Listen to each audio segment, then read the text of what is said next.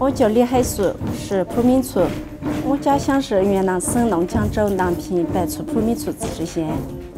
我是非物质文化遗产省级项目四弦舞乐代表性传承人。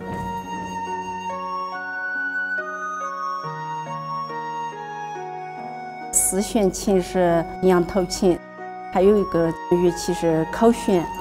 我们的民俗文化是一代一代就这种传承下来的。我爸爸就教我弹这个四弦，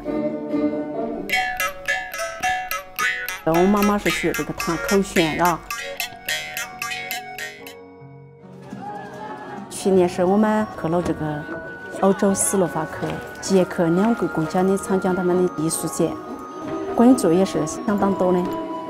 当时觉得是把我们的民族文化这种宣传出去，很自豪的一件事情。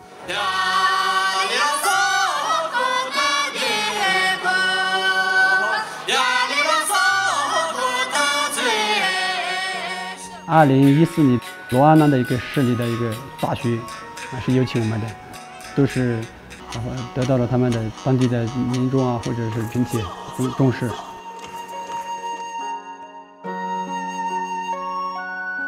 普米族就是一个自然崇拜的一个民族，所以呢，普米族的这个文化里面对神山是有敬畏，所以是不砍树，要保护大树，保护森林，保护家园的一个民族。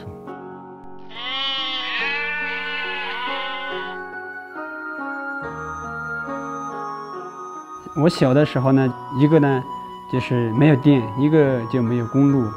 我们去一个地方的话，就是需要马当这个交通工具，然后就慢慢交通通了，电也有了，生活就不断的开始变化。